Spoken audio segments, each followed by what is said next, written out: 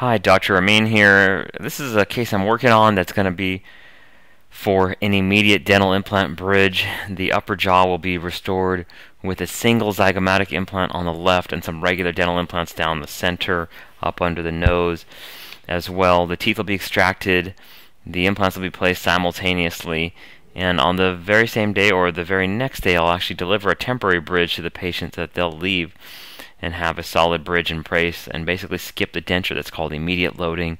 And you can see in my planning, I can tell exactly where I'm going to put the implants. I'm planning for not only the size of the implant, the length and di- diameter and position, but I can also tell the density of the bone.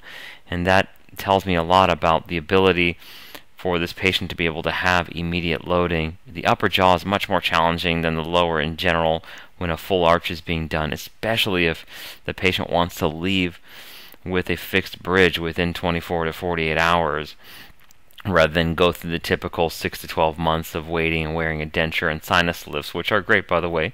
It's just a different approach, which I do as well. But you can see on on this on the scan workup, this is all how I do things on a regular basis. This is what I do every single night at home.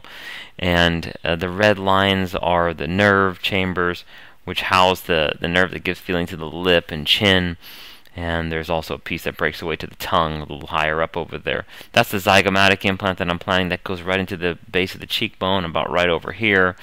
And that's going to allow this patient to have really, you know, uh, the highest chance of having teeth fixed in place with a super high success rate on the upper jaw. But this is virtual planning in a software that's called Anatomage. I fuse that with the patient's uh, what's called TrioScan that allows for like full 3D rendering, surgical guide, and you can see I can really see a lot of detail. It, it gives me in my head exactly my plan that day because I've done the surgery on the computer, you know, you know, five six times. Thanks for watching,